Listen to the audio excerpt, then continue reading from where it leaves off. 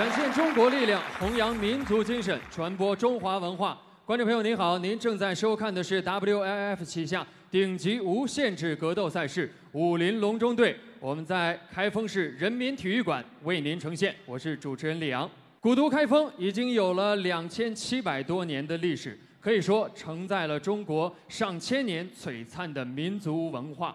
开封也是八朝古都，也是我们中国的八大古都之一。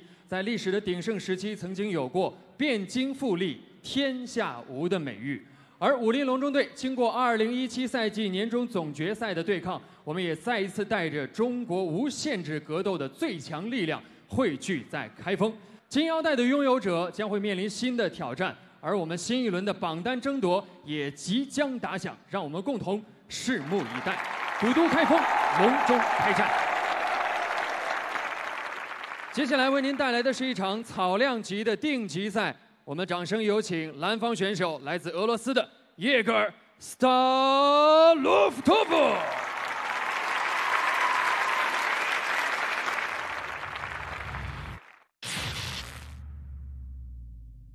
选手来自中国，他今年三十二岁了，是一名不折不扣的老将。但是呢，他在武林龙中队已经取得了两连胜，而他的战绩也说明年龄不是问题。接下来，掌声有请来自中国的李鹏鹏。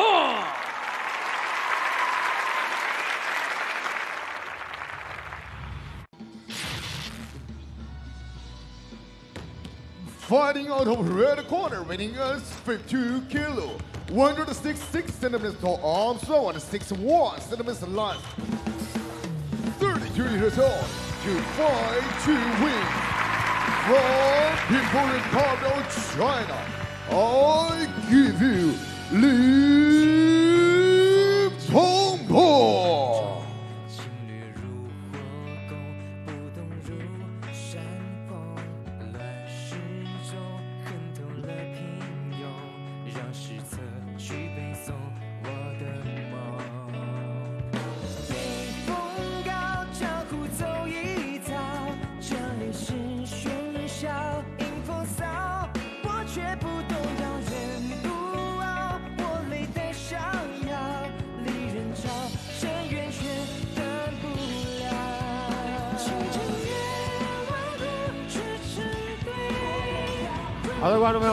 在出现在我们画面当中正在进行检录的是本场比赛的红方选手，来自四海连城俱乐部的李鹏鹏。这是一位老将了，今年已是三十二岁的年龄，身高是一百六十六公分，臂展是一百六十四公分，比赛体重是五十二公斤。他要参加的是一场草量级的定级赛，之前的专业战绩是两战两胜。在裁判员进行检录完毕之后，不耻不当都没有问题。老将李鹏鹏入场，祝他好运。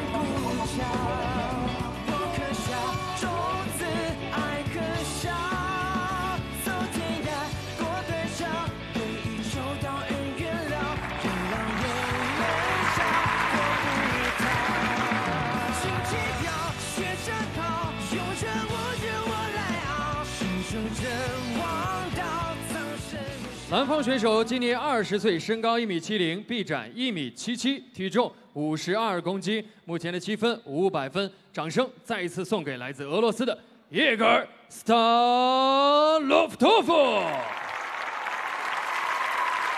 红方选手今年三十二岁，身高一米六六，臂展一米六四，体重五十二公斤，来自四海连城俱乐部。目前积分同样是五百分，掌声再一次送给来自中国的李鹏鹏。场上裁判封毅，武林龙中队隆中开战。中国队长傅高峰首战告捷，立夏日再度出击，刮起2018全台第一次热带风暴。入云龙董文飞伤愈复出，能否飞龙在天，再入云端？五月五日，武林风震撼呈现，河南卫视现场直播。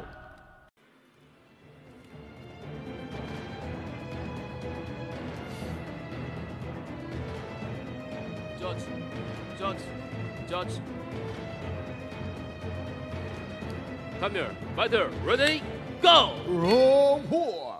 观众朋友们，大家好，这里是 WLF 旗下顶级无限制格斗赛事武林龙舟队的比赛现场，我们在开封市人民体育馆为您带来本场比赛的实况。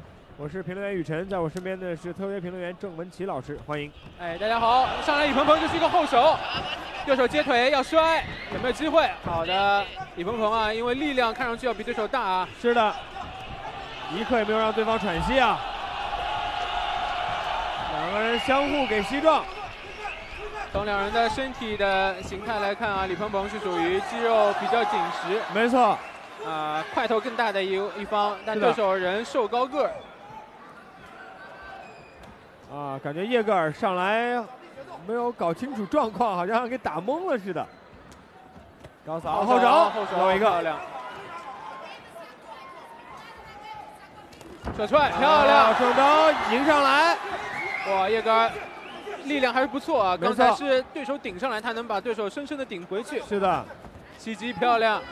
这个绝对力量啊，嗯，还是能够用上自己臂展的这个优势的。没错，叶哥这一边体系的格挡做的也不错，只是啊、到底是三十二岁的老将，我觉得他在身体的距离上控制的非常好，因为从数据上来看，他的臂展是比对方短了十三公分啊。好的袭击漂亮。小心，看起来这位俄罗斯选手是有很深的这个泰拳的功底。没错，对手李鹏鹏环以袭击，好压倒顶缠倒，抱之后直接把对手压倒，是的，死死的摁住啊！嗯，双方因为体重比较，轻，我估计想要控制住也比较困难。是的，但是看看有没有机会能够完成一些击打。对，要小心对手两条大长腿来布置防防御，还有降服啊。嗯，已经在胯部搭了个扣儿。哎，小心，小心过肩。继续顶住。我觉得李鹏鹏这会儿其实如果要是在这个把位的话，可以调整一下方向，把对手往龙网边顶一顶。他现在哦最重要的是需要过掉腿，明显看得出来，这个叶格尔在下位的封闭式防守当中的防御啊，嗯，很不错。是的，而且一直想要往上过腿，过条肩。小心三角，要转，哎，退出好来的，，好的，了。刚才叶格尔没有控制住对手手臂，想要转这个十字固呢，结果是自己也思路不太清楚，嗯，哎，再到侧身位，提秤了，过腿漂亮，骑乘到对方身上，看能不能腾出击打距离，起桥，对，撑住，这边叶格尔因为力量不占优啊，想要嗯硬起的话，应该没有什么机会。是的，现在可以看看有没有机会做十字固，李鹏鹏这一边还有机会布置是的，三角脚一条腿啊，嗯可以跨过去。对，看能不能挂过来一条腿啊。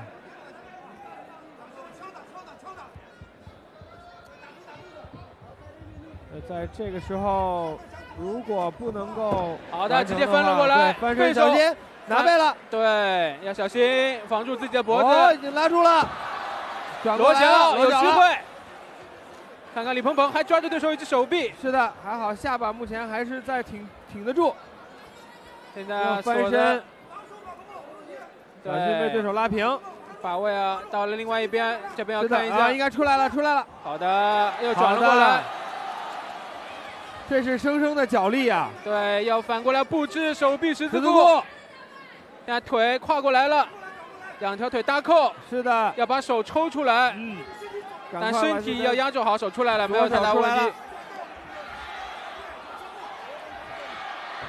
但是到了侧面控制，下是的位这个叶格尔就吃亏在这个力量不行啊。没错，而且下位的叶格尔看起来在脚力过程当中的确是有点累了。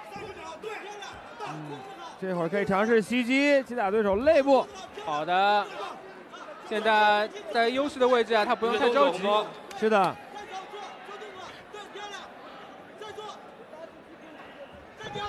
继续，对，就是这个位置，给一些肋部的击打。连续的击打，连续击打，好的，问题不大，现在应该能够挺过第一回合。啊第一回合比赛结束，在这回合当中，我觉得老将李鹏鹏是一点儿时间都没有浪费啊。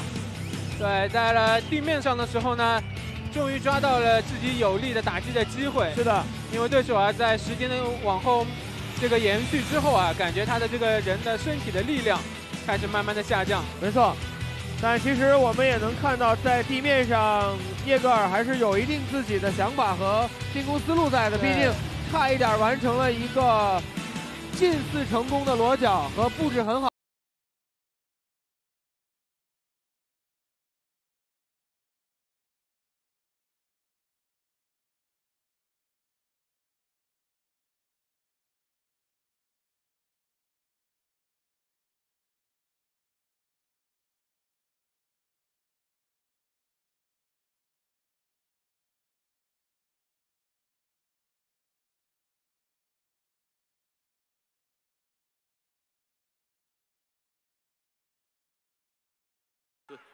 Ready, fight! Round two. 好的，双方第二回合比赛。啊，不知道李鹏鹏在自己的进攻方式上，这一轮会不会发生什么改变？我觉得还是要抓到自己这个力量更足的这个优势里面。没错，后手。哎，看得出来对手这体能已经是下降的很厉害。是的，叶格尔这边啊，看看能不能熬过这一回合啊。对，而叶格尔这边身高臂长的优势完全没有发挥出来啊，反倒是李鹏鹏，虽然身高和臂展，尤其是臂展有很大的劣势，但是距离控制的非常好，而在站立上的打击效果也非常好。哇，高扫，高扫，低扫。哇，转身，转身，转身边拳，直接被击倒了。小心！哇，这边是救命式的抱腿啊！没错，把对手给抱住。嗯，刚才这个反身拳明显打了李鹏鹏一个趔趄。哇，还好有抱摔来限制了对手的继续进攻。没错，不然刚才如果叶格尔趁机抓到机会有一个连续的进攻的话，李鹏鹏真的危险了。现在继续顶住对手。刚才这个转身边拳啊，时机抓得非常好。是的。好的，李鹏鹏啊，现在先压制住，不用太着急。嗯、对，让自己也缓一会儿啊。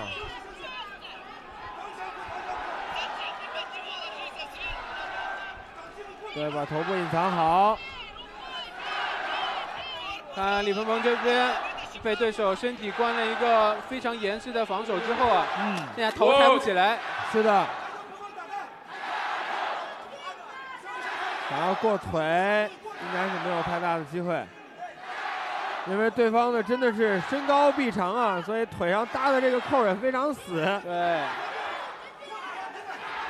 现在李鹏鹏在上位几乎没有进攻。是的，看得出来对手的防守啊，还是给他造成了很大的麻烦。嗯。而且只能够再找一找内部可以打。对，还要看看裁判的耐心到底有多长时间。是的，如果冯毅老师忍不了的话，就会把双方叫起来，重新回到站立位置。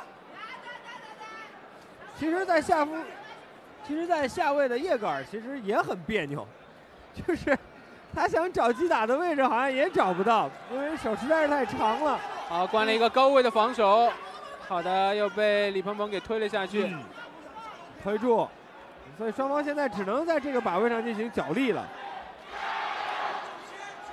有效的击打都不多。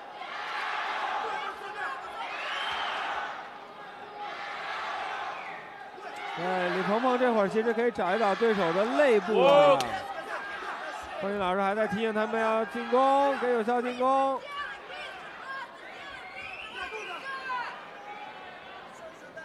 这边要转过去，但是我估计也很难关注这个三角角。好，出来了，又到了侧面。反身。刚才一回合啊，侧面之后直接到了齐胜，对，继续击打。感觉叶格尔在体能上真的是出现了很大的问题啊。好，又是齐衬，起身了，这边有连续夹击的机会，连续击打。红桃，红桃，红桃。如果继续这样，应该要叫 TKO 了。连续的击打，是的。对手啊，不停的摇动身体，没错，只能躲了，没有还手之力了。好，我们看叶高这边，我们是不能 stop，卡卡卡 stop stop stop 卡。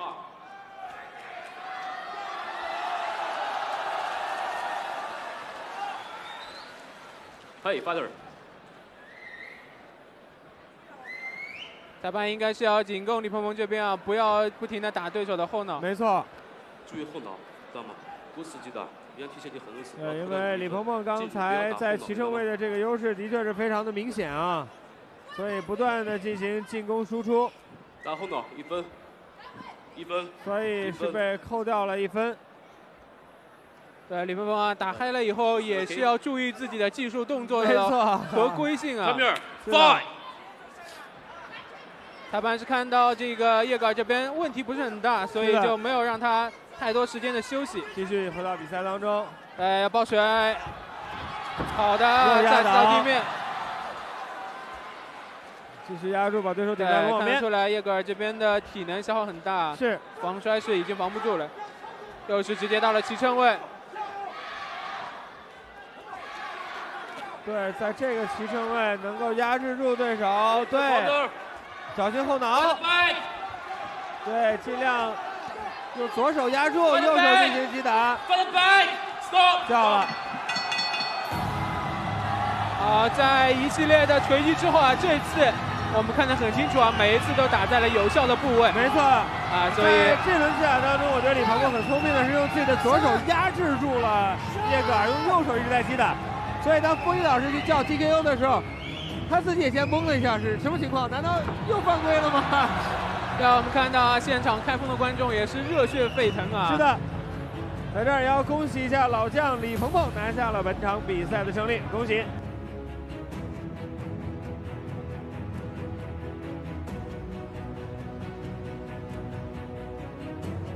下面宣布比赛结果，比赛进行至第二局四分二十七秒，红方 TKO 对手，比赛结果红方胜。有请颁奖嘉宾，武林龙宫队开封站主办方张慧女士，河南变悦生物科技有限公司总经理王媛媛女士为双方颁奖。再发挥百分之六十吧，百分之六十。嗯，接下来有什么样的打算吗？接下来继续努力吧，继续努力，继续调整。每一次对手，每一次比赛都是一种进步，都是一种总结。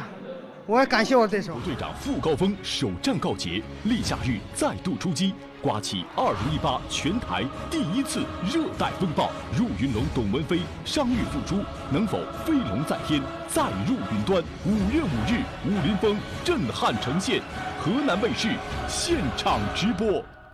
展现中国力量，弘扬民族精神，传播中华文化。观众朋友您好，您正在收看的是 WLF 旗下顶级无限制格斗赛事武林龙中队，我们在开封市人民体育馆为您呈现，我是主持人李阳。接下来为您带来的是一场轻量级的定级赛。首先我们要有请的蓝方选手是来自格鲁吉亚的索索尼扎拉泽。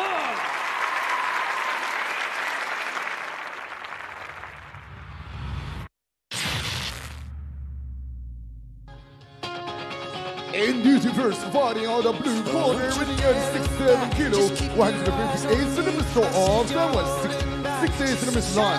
29 years old, 46 wins, 4 loses.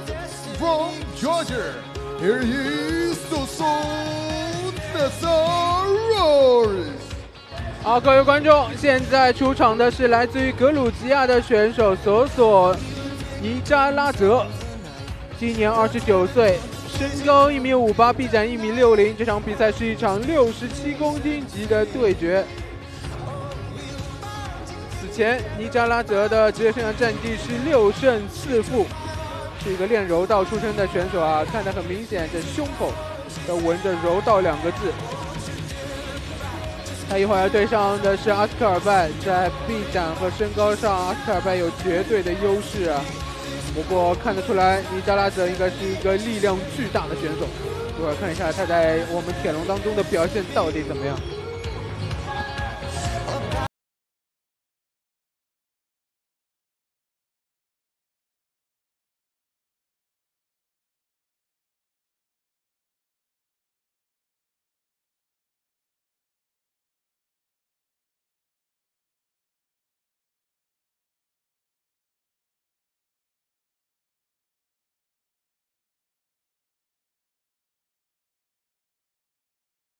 接下来要出场的红方选手是来自中国的哈萨克族选手，让我们掌声有请 Oscar b y e。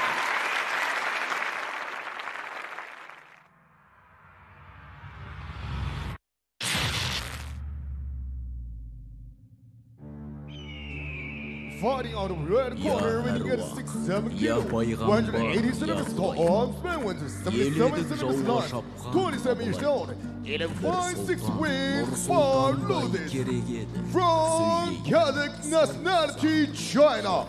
I give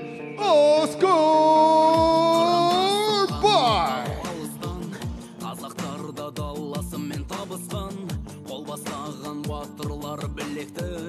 қарсы шапқан қас жаумен алысқан қасым ханның қасқа жолын қастерлеп қарсылассан қара тастай жанышқан қыны алтын қылыш алған қолыңа қайсар ерлер 好的，观众朋友们，现在出现在我们画面当中的是本场比赛的红方选手，来自中国的哈萨克族小伙阿斯科尔拜， 年龄二十七岁，身高是一百八十公分，臂展是一百七十七公分，比赛体重是六十七公斤，来自山东大地综合格斗俱乐部，目前的个人战绩是十一战六胜五负。他今天要参加的是一场轻量级的定级赛。目前我们的裁判员正在对他进行最后上场前的检录，包括身上有没有衣物，手套有没有戴好，裤衩、裤裆都没有问题。红方选手阿斯特尔拜。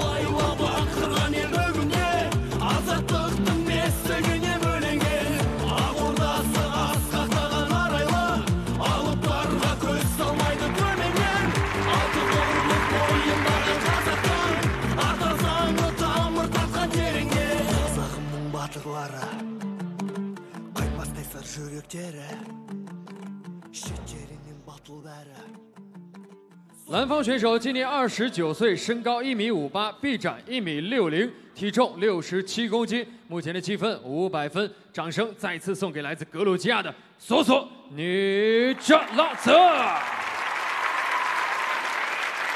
红方选手今年二十七岁，身高一米八零，臂展一米七七，体重六十七公斤，来自山东大地综合格斗俱乐部。目前的积分五百分，我们掌声再一次送给来自中国的哈萨克族选手 Oscar 尔拜。场上裁判封毅，武林隆中队隆中开战。Fighter, fighter. Okay, surrender rules, make the penalty fight. Okay, touch gloves, good corner. Judge, judge, judge, come here. Fighter, ready, go. 观众朋友们，大家好，这里是 WF 旗下顶级无限制格斗赛事武林龙中队的比赛现场，我们在开封市人民体育馆为您带来本场比赛的实况。我是评论员雨辰，在我身边的是特约评论员郑文琪老师，欢迎。哎，大家好。两位选手呢，身高有着巨大的差距，阿斯科尔拜，啊，比对手高了二十公分不止。没错，啊，但对手练柔道出身，抱摔的能力也不错。尼加拉泽直接把阿斯卡尔拜抱倒。没错。其实，在臂展上，阿斯卡尔拜是长了十七公分啊，身材差距非常的大。对，之前阿斯卡尔拜呢，实际上也是一个非常擅长缠斗的选手。没错，下位呢也是有一定的降服的能力。嗯。不过以对手这个势大力沉的这个力量啊，想要做降服并不方便。是的。嗯，其实我倒是比较担心他的绝对力量不如对方大啊，就是进入到地面被压制的时候，可能会被压制的比较死。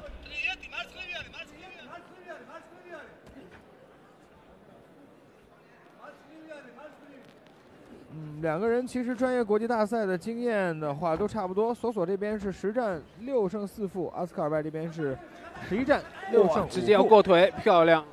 这个直接是蛮力过腿啊！是的，这个绝对力量啊，真的有点恐怖了。啊，好的，阿斯卡尔拜又是把防守尽可能要布置进去。嗯，今天是保住。之前我们说阿斯卡尔拜就是力量惊人嘛，但今天遇到了一个估计更加 对，是的。是有对手了。其实，在之前龙中队的比赛当中，阿斯科尔拜登场的比赛上，基本上力量优势是他非常大的一个优势啊，也是一个制胜的法宝。但是今天我们从一上来这一 round 来看，啊，索索这边的嗯能力的确要比他强。索索呢吃亏在身体就是不够长，没错，就要布置进攻的时候呢，尽可能要离阿斯克尔拜近一点，这个西撞非常的凶猛。没错。对，其实这种就是我们说小钢炮型的选手，一在地面上真是非常的难缠啊。哇，连续的锤击是的抓的阿斯克尔拜的脚踝，还要过腿，还要过腿。现在过不去之后呢，身体往上压，压制，没错。一看索索这边的战术布置的非常的清晰啊，就是对基本上在站立上压根儿不跟你说那么多。拍了拍了拍了，十字固成功了。哇，索索在站立的时候，他本来是有过腿的机会，没错但是没想到手臂被对手掰住之后啊，他没有及时的抽出来。嗯，我相信在绝对力量上他是有优势的，但是肯定是肯定是一时大意啊，没错，被对手抓住了这个十字固的机会。估计也是没有想到，或者说自己在地面上有点压制位的时候用力过猛了。那打的一时兴起，忘记防守啊。是的，在这儿要恭喜阿斯卡尔拜以一个标准的十字固完成了本场比赛的胜利，恭喜！下面宣布比赛结果，比赛进行至第一局两分四十三秒，红方手臂十字固降服对手，比赛结果红方胜。有请颁奖嘉宾开封市盛昌蒜业有限公司董事长韩娟女士以及总经理马洪涛先生为双方颁奖。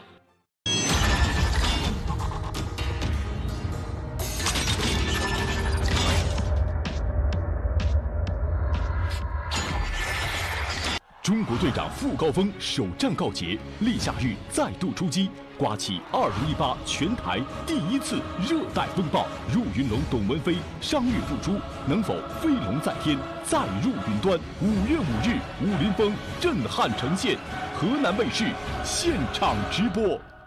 展现中国力量，弘扬民族精神，传播中华文化。观众朋友您好，您正在收看的是 WLF 旗下顶级无限制格斗赛事武林龙中队，我们在开封市人民体育馆为您呈现。我是主持人李阳。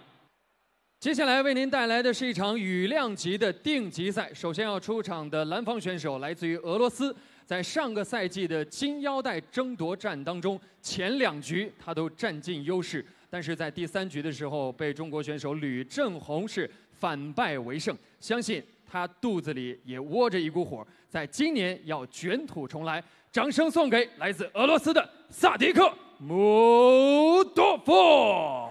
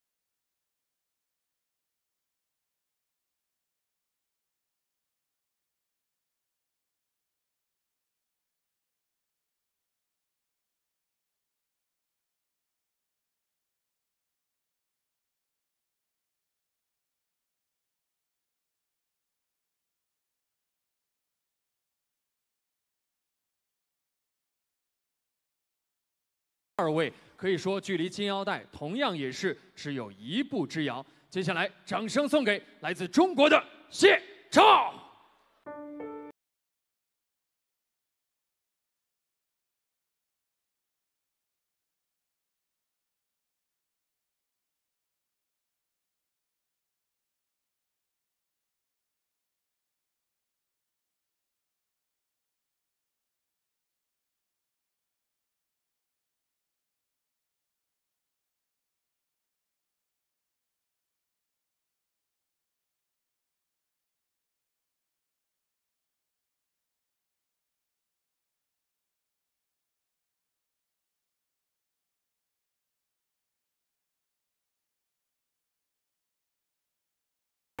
是的，但的确是他到了拳台上还是有他的实力和霸气所在。我因为杀手这个外号挺喜欢的，就是我自从打完 YFC 吧，终结对手，然后大家起的外号吧。刚开始我觉得我能踏上武林龙中队这个擂台，就是非常好了，算是完成我的梦想了。然后慢慢打赢了这么多场呢，也有想取得更好的成绩，也想走得更远。我挺喜欢曾国藩说的那句话：“步步前行，日日不止。”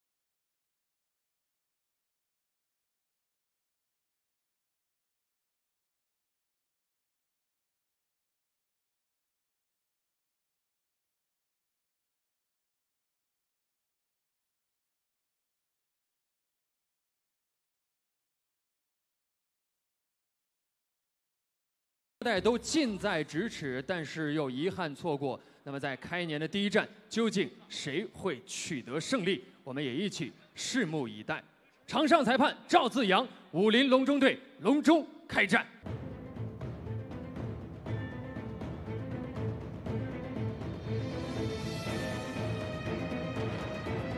Touch your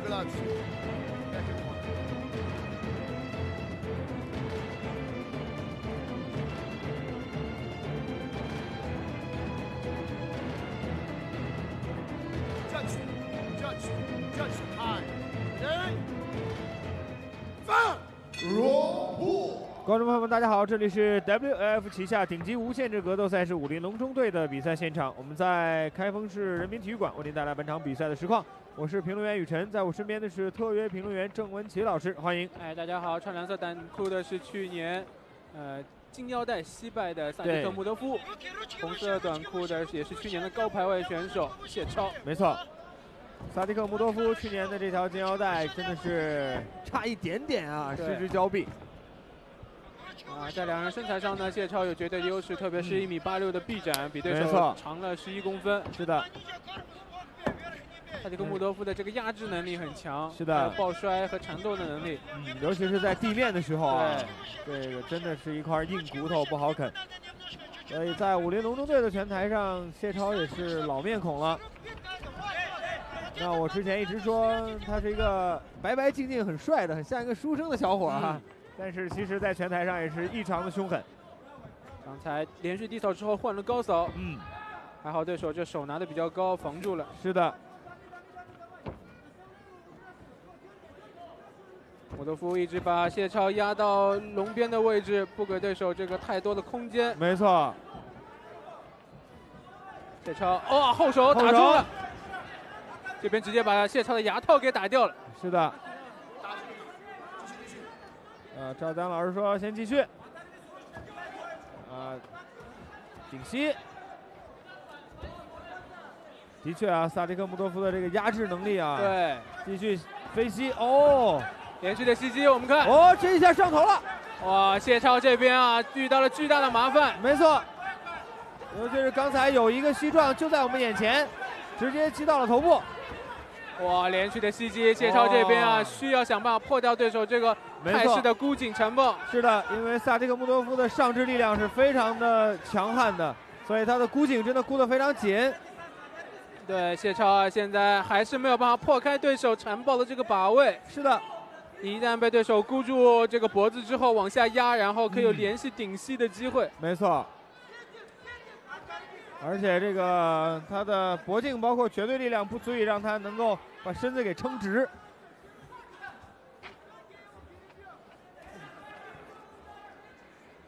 是好拿到腋下，估计还是要给西壮这一个后手。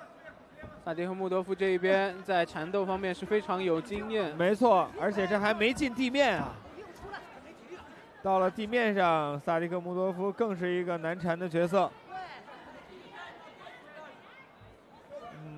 嗯，谢超现在一味的去估对方的劲，其实没有意义。看看能不能先把对手推开，能不能逃出来。连续的袭击之后又换拳击，这一边依旧是是的抢了对手很不错的一个把位，一只手搂着对手后脖子，然后另外一只手搂住对手的腋下。是的，想要去估对方的颈。好顶膝，来正蹬，好的，应该会让谢超带上护齿啊。双方继续，高扫，看双方谁率先会改变一下比赛的战局。对，特别谢超这边啊，要注意多移动，绕开对手，没错往前顶的这个趋势。是的，不然萨利克穆多夫的压制真的是太凶狠，后手没打到。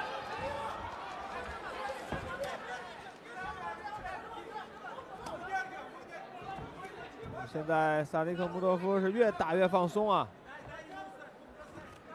有一个后手，这个高扫，并没有高效扫有点扑的太猛，是的，差点把自己重心给丢了。对，落地的时候都不稳了。哦后手哇这个后手我没有打到啊，万幸。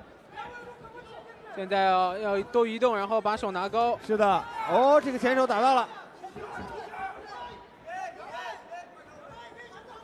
哎高扫，这样的高扫还是尽量不要有啊。连续用撩踢还有正蹬，正蹬哎踹对手膝盖来保持比两人之间的距离。嗯，后手，萨迪克穆多夫一直在量这个后手的距离，谢超要小心。而且谢超基本上已经无路可退了，好，又被顶住了。估计萨迪克穆多夫又要箍颈，哦，抱腿，抱摔，有机会抱腰。是要想要进入到地面了吗？对，萨迪克穆多夫很好的一点啊，就是他如果抱摔不成的话，他有很好的把对手压制住，然后连续呃缠斗的这样的实力。没错。好的，双方第一回合的比赛结束。我个人忽然间想到一个问题，就是萨迪克穆多夫可能在啊、我们的休战期过程当中，可能增加了自己泰拳的练习，因为这一上来孤颈和连续的膝撞，真的是给谢超带来了很大的麻烦，而这是他在以前龙舟队的比赛上几乎没有用过的技能。呃，赛迪克穆多夫呢，他是龙舟队当中，呃，缠斗能力，在龙边缠斗能力比较强的选手。是的，今天谢超做的比较好的一点呢，就是呃在龙边啊没有被对手摔倒到地面。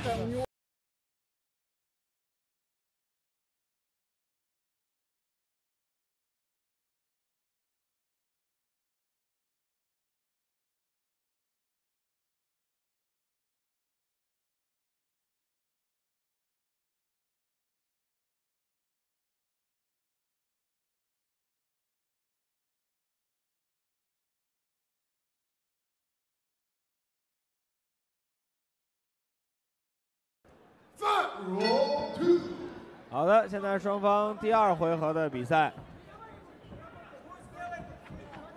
啊，这一上来，呃，萨迪克穆多夫好像也并没有把比赛要拖入到地面的意思，还是跟谢超要在打站立。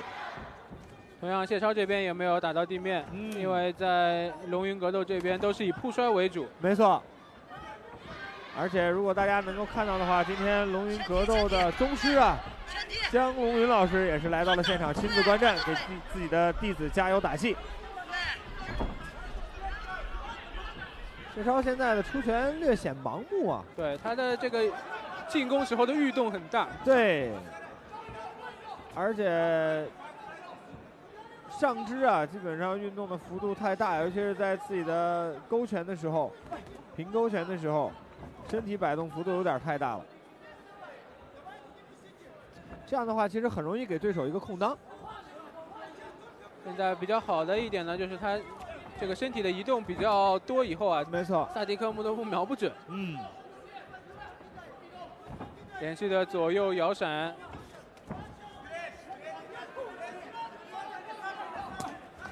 后手轮摆被挡到，继续孤颈顶膝。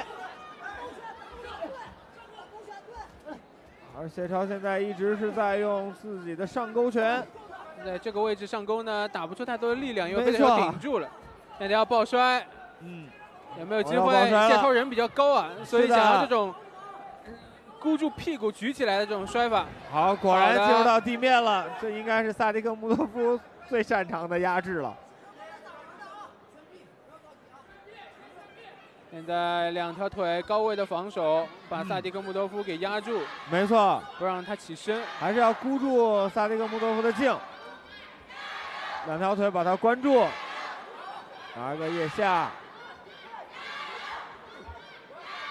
现在目前看来，在下位的谢超虽然身处劣势，但是还是比较冷静的。看看有没有机会改变一下身体的位置。嗯。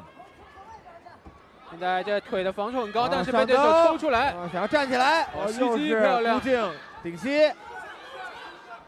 这时候啊，要想办法把对手的内把给破开。是的这样往上搂的勾拳是没有什么用的。没错，又是要去抱腿，顶到龙网边。啊对，用肘部击打他的肋部，抱单腿打开还。是不行。对，推开谢超的防摔能力也不错。是的，毕竟身高在那儿放着，一米七九的身高，这两条腿如果能够真正的劈开，想要摔倒也不是抱腿摔倒也不是一件容易的事儿。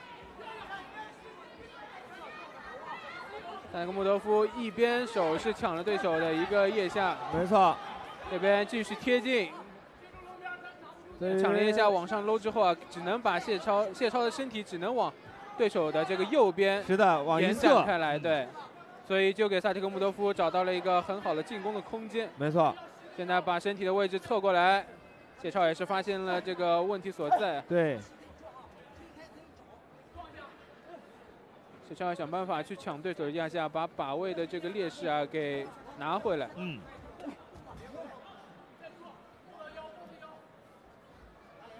这对于谢超来说，可能在我们龙中队的拳台上还没有碰到过像萨迪克穆多夫这样这么难缠的选手啊，真的是太难缠了。好，继续和他刚才相同的动作。萨迪克穆多夫呢，有时候，呃，也会用自己的脑袋去控制对手身体的的位置。去顶一下对方的下巴，或者顶一下对方的肩。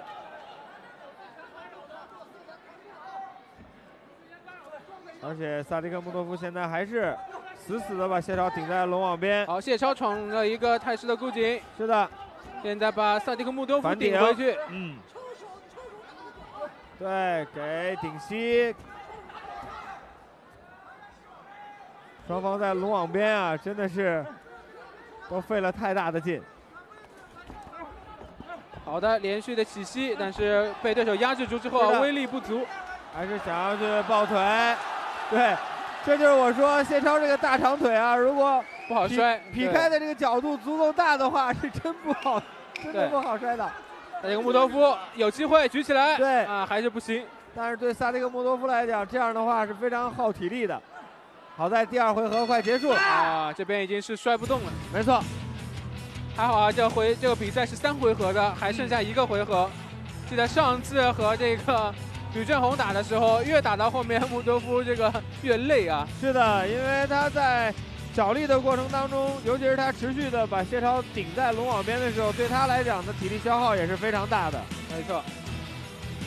看看到了第三回合以后，双方体能的此消彼长，有没有这个比赛的局势会发生改变？但我至少从前两个回合来看，还是穆多夫占据比较大的。是的，但我相信到了第三回合。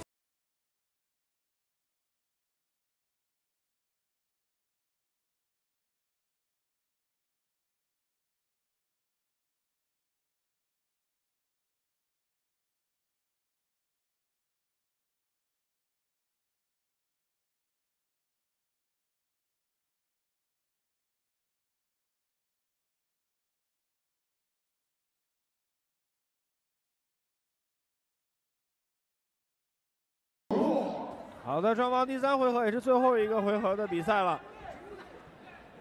我们看啊这个，因为连续被对手压在龙边，谢超的后背也是被龙网蹭红了。没错哇，这要起高扫还好踢在了对手的腋下。是的，谢超的侵略性上来了，因为在第二回合的时候，谢超也是长啸一声啊。好，萨迪克穆多夫抱双腿好一个扭胯，把对手抱腿的这两只手啊给碰开。开了，嗯。好的，又是把对手顶在龙网边。啊，推开。随着比赛时间的深入啊，穆德夫的压制的能力，对体能的下降越来越弱。对是的，因为的确把对手顶在龙网边，对于自己来说，的确是一个非常耗体力的事情。因为毕竟是你在攻，对手在防啊。嗯。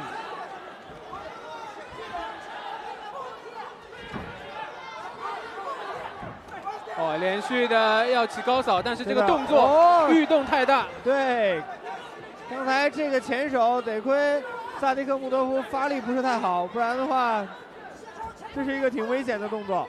哎，不过谢超这个体能真是可以。对，三个回合比赛的频率都是差不多。嗯，而且是被萨迪克穆多夫这样难缠的选手一直这样顶着啊，真的是不容易。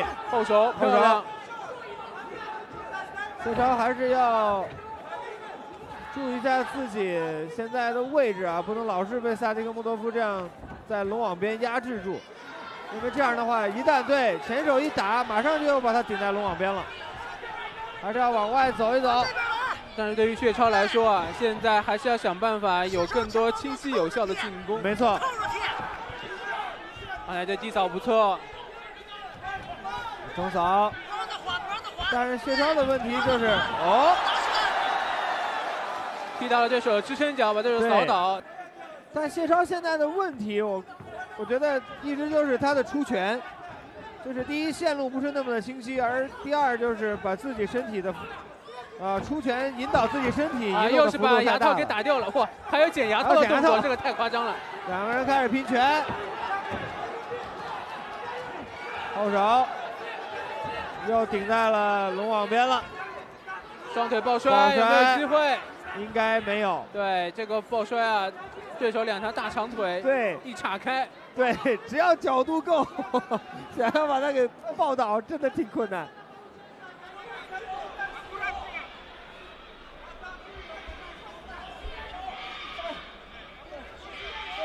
对，往上给给顶膝，后手，好的，连续的袭击。对，反而是萨迪克·穆多夫现在的战术就是顶完了谢超之后，把他的双手啊，一旦能够钳下来之后，自己腾出来手就开始往上击打谢超要想超头部。办法，或者在后面的训练当中啊，学习一些怎么把对手的位置给翻过来的。没错，啊，技术。对，呃还是一到龙网边相对太被动啊一直被压制住的话，尽管没有挨什么重击，但还是吃亏的一方。对，处于劣势。稍等，对，让谢超带上他的护齿。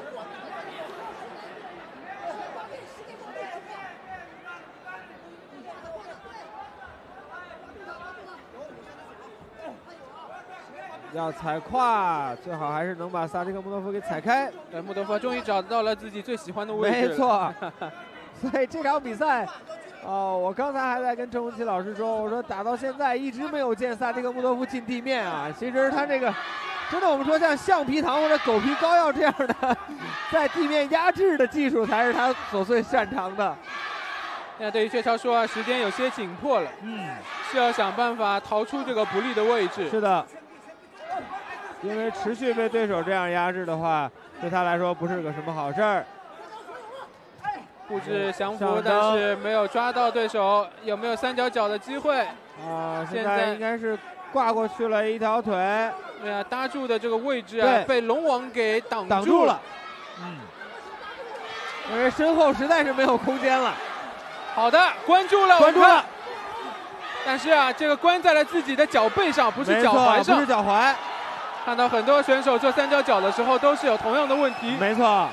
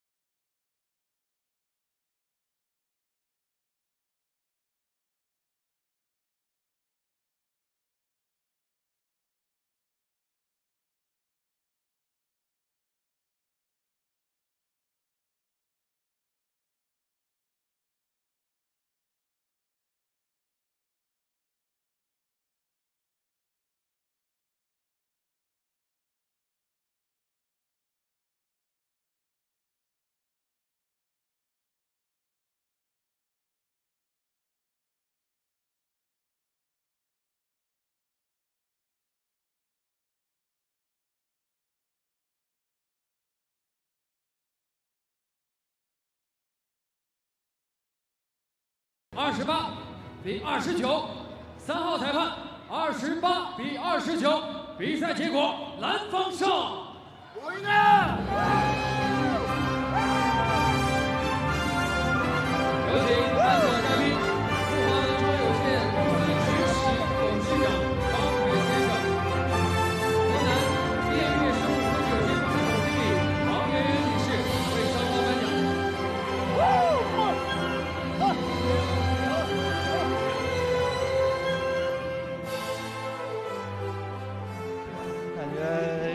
失落吧。然后师兄还有师傅，呃，赛前做了很多指导，咱没有打赢，挺挺不好意思。还是需要再冷静一点吧，就是有时候还是在进攻的时候没有那么多的转变，没有想法，就应该再多一点变化，太直接了，没有太多的变化。 Конечно, нельзя а, отрицать заслуги а, моего оппонента. Он оказался Мощным, так и навыки э, в стойке немного неудобным и в партере.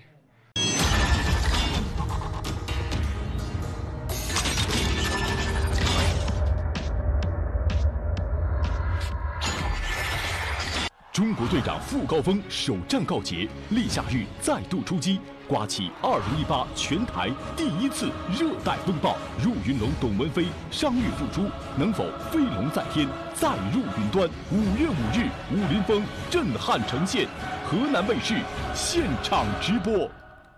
接下来为您带来的是一场雏量级的定级赛。首先要有请的蓝方选手，他是菲律宾散打系的选手，站立的技术相当出色，来自于菲律宾的选手，掌声欢迎贝内尔。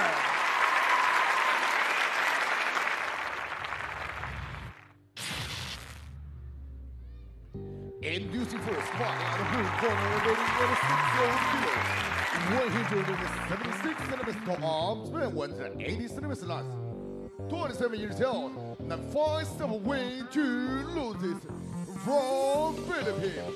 Here is, Banner Seti. 好，各位观众，现在出场的是来自于菲律宾的选手贝内尔。贝内尔今年是二十七岁，身高一米七六，臂展一米八零。这场比赛是一场除量级的定级赛，双方的体重都是六十公斤。贝内尔来自国际卢氏太极俱乐部，此前的战绩是七胜二负。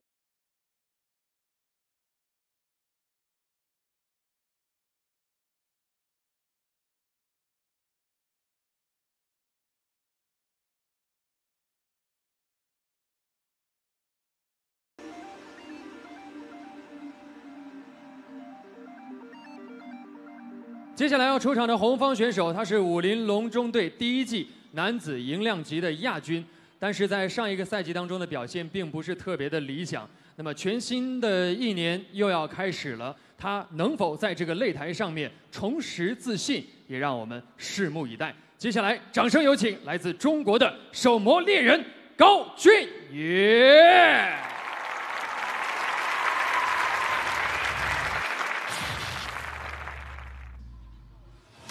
varje red corner weighing uh, 60 kilo, 172 centimeters tall, arms 1,000 long, 24 years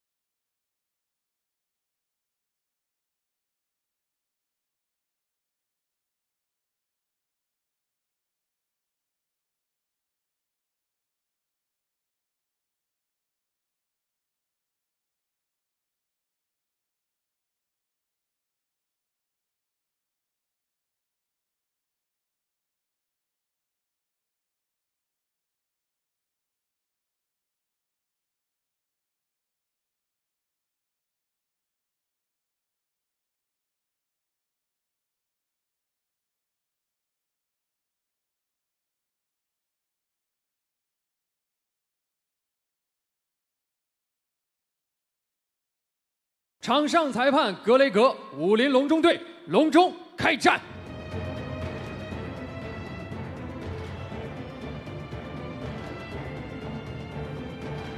Judge. Judge. Judge. Don. Are you ready to fight? Are you ready? Fight. Round one. 观众朋友们，大家好，这里是 WLF 旗下顶级无限制格斗赛事武林龙中队的比赛现场，我们在开封市人民体育馆为您带来本场比赛的实况。我是评论员雨辰，在我身边的是郑文琪老师，欢迎。大家好，这场比赛高俊远一上去就是要抱摔，是的，哦，已经拿胯了，哇，一个抱摔啊，直接到了侧面的位置。对，这一下真瓷实啊。对，贝内尔他的对手菲律宾对手呢、嗯是，呃，以站立擅长。没错，高俊远呢也毫不废话，直接到了地面当中。是的，已经到了侧身。对，现在呢，这个贝内尔是两只手死死的箍住高俊远的脖子，但是嗯高俊远在侧面呢，呃，这样子箍住脖子啊没有太大的意义。对，应该是，而且有袭击的空间，可以击打一下肋部啊。只有一个，现在到了一个半防守的位置，想要是的过过腿到齐衬还不嗯行，对手柔韧性不错啊，腿对踩着高俊远的胯，嗯，高俊远要小心不要被对手关到封闭式防守当中错。，啊，已经关住了。但是这个断头台呢不够深，对，应该问题不大。应该是问题不大。啊，挺住会被他砸下去，我就估计高俊也站起来是想要砸他。对，没错，往下砸呀。哎，干嘛要往龙往边顶呢？对，在我们这个位置看到了高俊远的这个下巴还是有很大的一个空档。对呀、其实刚才那一下真的没有必要往龙往边顶啊。好，把对。破开了，推出来，有砸击的机会，有砸击的机会了，可以下砸，好的，站打，站打，好，找出空当了。对，又一拳，好的，连续的砸击，连续的砸击做的非常好，上灯，好的，又是我们下一拳，现在压制住，高俊也应该是想要控制一下节奏，在这个位置，对手拿出了左臂，哎，想要做木村锁吗？嗯，对，应该是想要做木村锁。现在有没有机会把对手手给掰到后面去？贝内尔的手也是死死的控住啊，啊，对方先把位提起来，嗯，把位松掉了，拿背，把腿插进去，把腿勾进去，否则的容易从对手后背掉下来，掉下来，对，没错。好，现在手的扣已经打好了，现在就看右腿能不能穿到胯下，拍了，拍了，拍了，拍了。其实我们还在担心这个裸脚能不能彻底的把对手给斩平的时候，当然应该是手啊，就是，尤其是他的胳膊下潜的应该是比较深，所以这个裸脚是完成的非常的漂亮。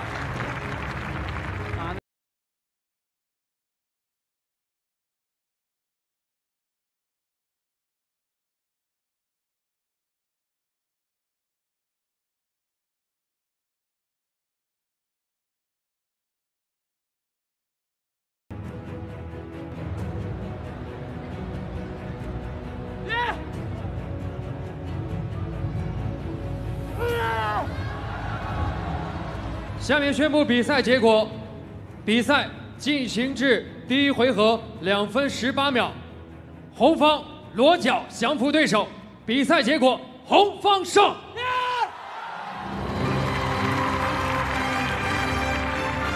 有请颁奖嘉宾刘瑜文化促进会秘书长、优德控股集团董事长牛刘栓先生为获胜选手颁奖。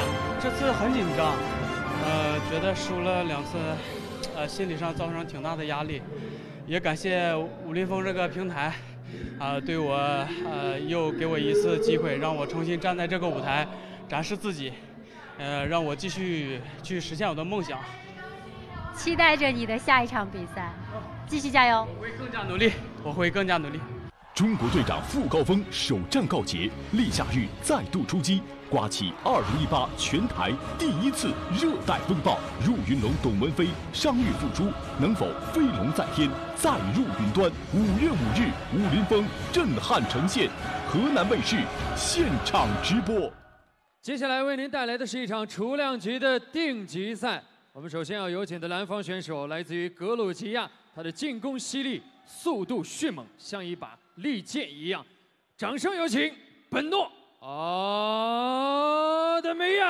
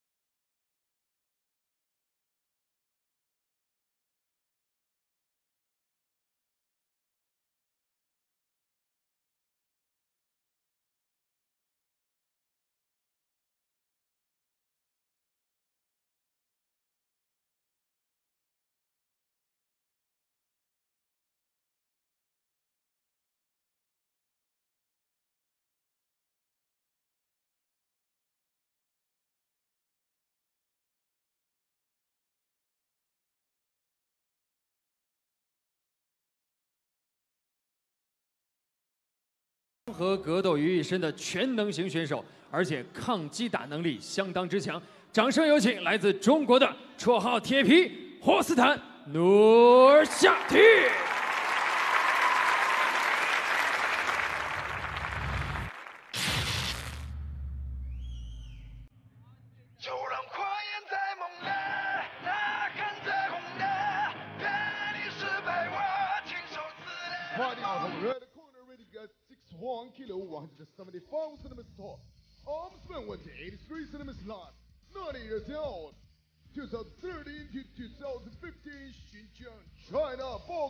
Champion. One fight, one win. From Kazakh nationality China, I give you Hussein Nurshati.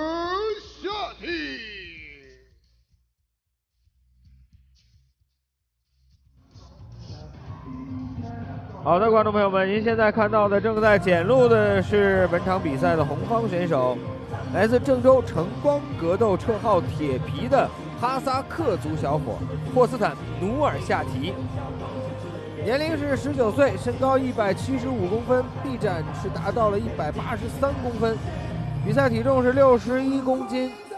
他要参加的是一场雏量级的定级赛，在二零一三年到二零一五年新疆维吾尔族自治区的拳击锦标赛当中获得了冠军。那目前的 MMA 的职业战绩是一战一胜。检录完毕之后，红方选手霍斯坦努尔下提入场。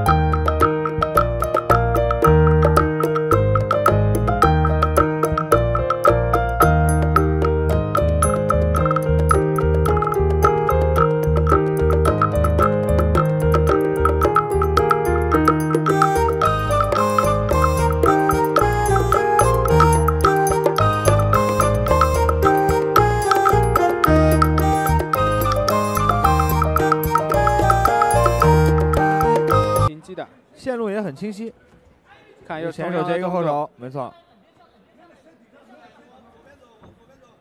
嗯，反倒是霍斯坦这边现在好像没有利用好他自己身高臂长的优势啊。我是觉得他离对手太近了。对，要控制好距离，因为这个距离，我觉得阿德米亚刚好能打进去啊。对，这不科学。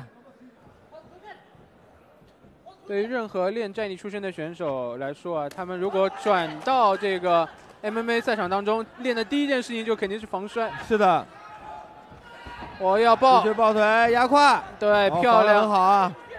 这边对手啊，这次是把手合住了，现在是拿了个单腿摔。对，但是不知道能不能摔倒。现在除了要控制自己的这个平衡之外，还要想办法去抢对手腋下，把对手身体重心给拉上拉回来，嗯，对，这样子做的不错。好的，这个防摔做的不错。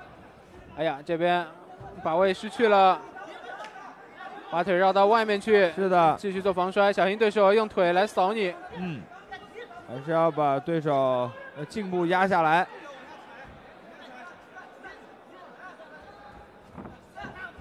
啊，摔哇，防摔的能力很强，而且平衡能力也很好。看看还是顶在龙网边。要抱双腿，但是手合不起来。是的，好的，啊，终于啊，对，往后一拉，往旁边一拽，终于是摔倒。是的，也算是没有辜负阿德米亚花费了这么长的时间和精力还有体力，去想要摔霍斯坦。看看霍斯坦到了下位之后啊，如何来布置自己的防守。哇，被点起来了！十秒钟，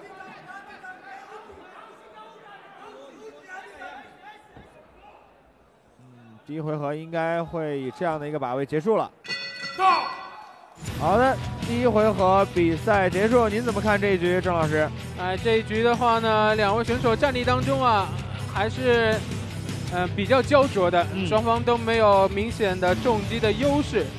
啊，到了地面上呢，霍斯坦连续防住了对手几次爆摔，但是在最后一次呢，是被对手压倒在地面。没错，所以两人的第一回合打的还是比较焦灼的。好的，我们也一起来期待一下双方在短暂休息之后第二回合的精彩对决。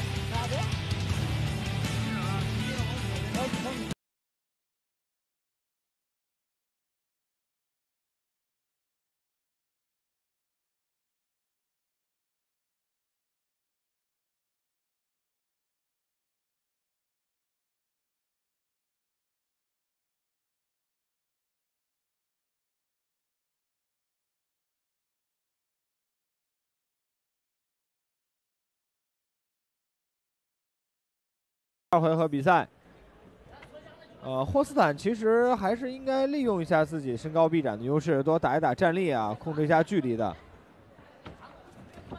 后手，对对手的左右的看上去精准度啊比他更好。没错刚才有个基辅不错，第一回合也有同样的动作。是的。而且阿德米亚这边的站立时候的出拳时机把握的非常的好。有一个后手，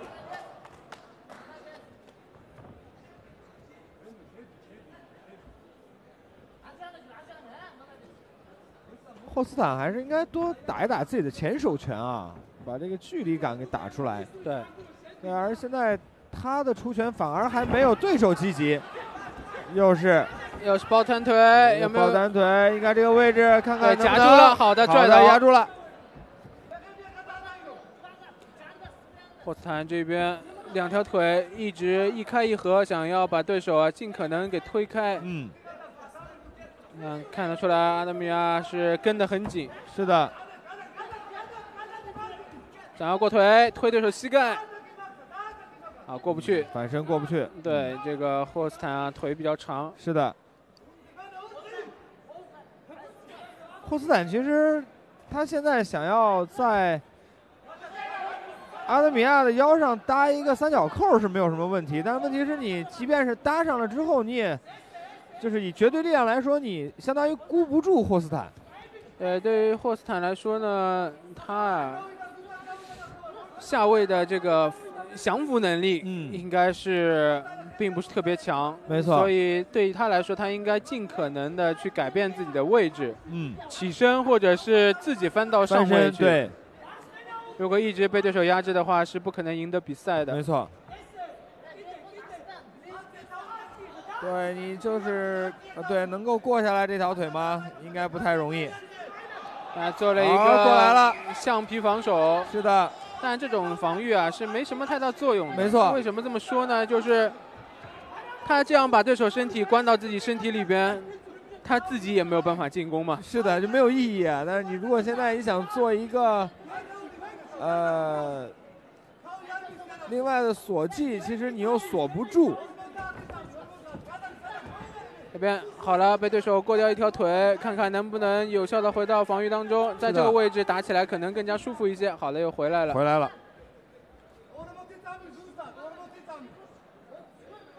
对，还是要往上挂，这是想要做个三角脚吗？三角脚这样子是掰不成的啊。对啊，因为你现在毕竟两条腿都在对手的胯下呀。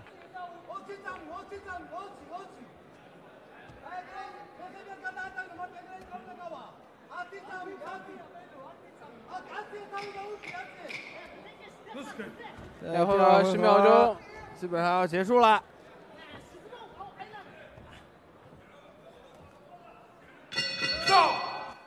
好的，第二回合比赛结束。通过这一回合，其实包括第一回合，我们能特别明显的感受到，阿德米亚在地面上啊，也是一个技术很全面，而且压制力非常强、很难缠的选手。关键现在霍斯坦即便在战力当中呢，也占不到便宜。没错，所以啊，对他来说，如果没有办法从被对手抱摔的这个情况快速站起来的话，这场比赛对于他他来说啊就比较危险了。是的，我们一起来期待一下双。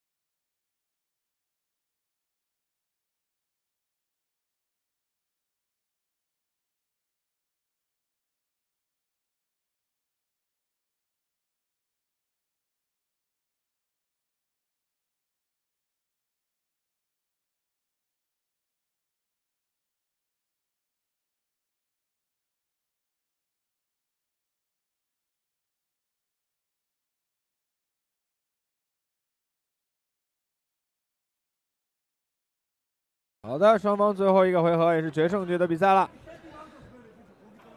看看这个霍斯坦能不能在自己拳法上打出更多的连击。对，但是我觉得阿德米亚肯定还是想要把比赛拖入到地面，因为他在地面的压制力的确是很强势。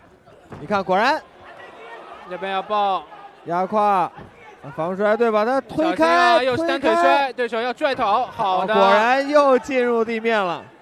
呃，防双腿的扑摔防的不错，但是防单腿摔呢上就就有点不行了。是的，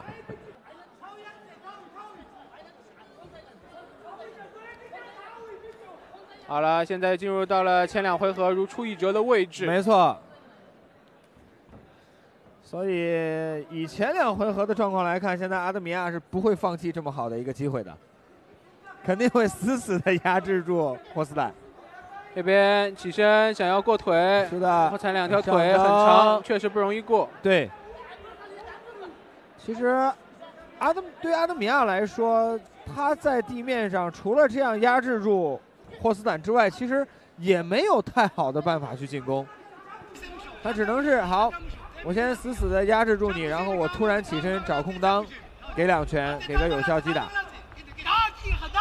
好的，现在进入地面的时候啊，现在对于下位的这个霍斯坦来说，已经是时间越来越紧迫了。没错，是甚至非常不利。甚至可以说，如果你不想办法去终结对手的话，这场比赛你已本上经是输了。对，已经没有太大希望了。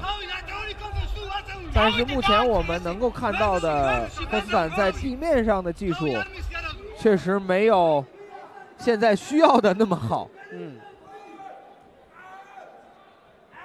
瞎行，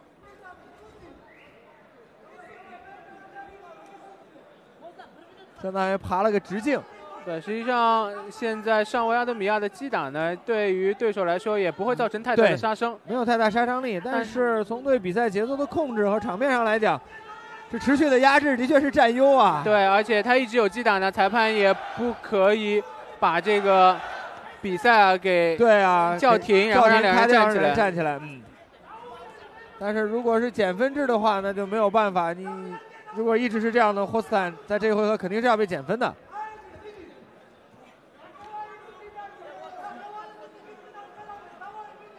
而且其实现在阿德米亚也不敢把自己的身体抬得太高，一旦抬太高留有空间的话，霍斯坦就会选择把它给蹬开。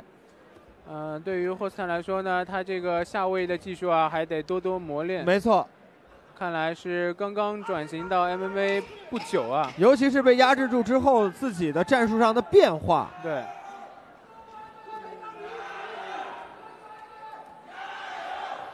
好，三个回合比赛结束了。没错，对于双方来说，这三个回合都是一场鏖战，但是对于我们来说，这三个回合感觉跟看了一个回合是一样的。啊，不管怎么样啊，阿尔德米亚应该是能够完美的取得这场比赛的胜利。没错。那在这儿，我们还是要一起来期待一下本场比赛的结果。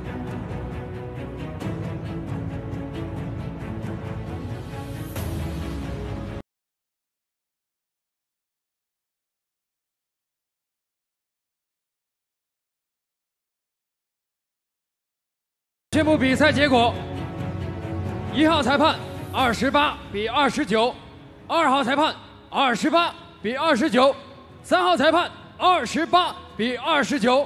比赛结果：蓝方胜。Winner